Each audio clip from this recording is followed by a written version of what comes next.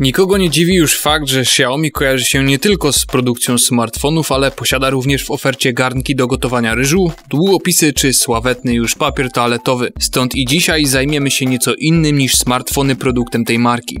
Zestawem klocków Mi Robot Builder.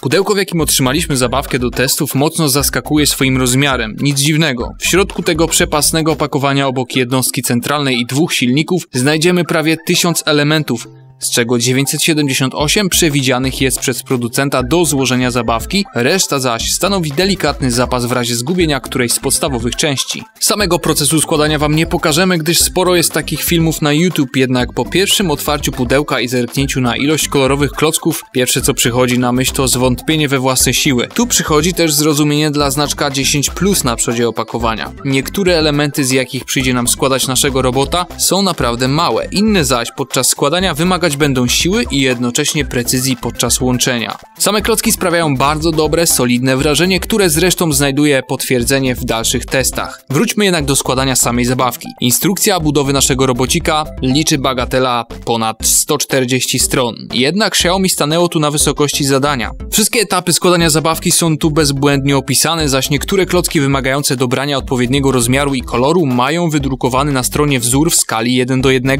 tak byśmy przymierzając elementy użyli tego właściwego. Tu mały protip z naszej strony. Wszystkie elementy łączące warto na początku zabawy posegregować kolorami. W ten sposób złożenie całego zestawu zajmie nam jedynie, uwaga, 5 godzin. Gotowe. Robot, którego udało nam się złożyć waży dokładnie 1150 gramów, także całkiem sporo. Po naładowaniu do pełna zabawki z pomocą dołączonego zasilacza, co zajmuje około 2 godzin, możemy przystąpić do dalszego testowania. Aplikację, która łączy się z robotem za pomocą Bluetooth ściągamy ze sklepu Google Play. Po szybkim połączeniu się z zabawką wybieramy jedną z trzech metod sterowania.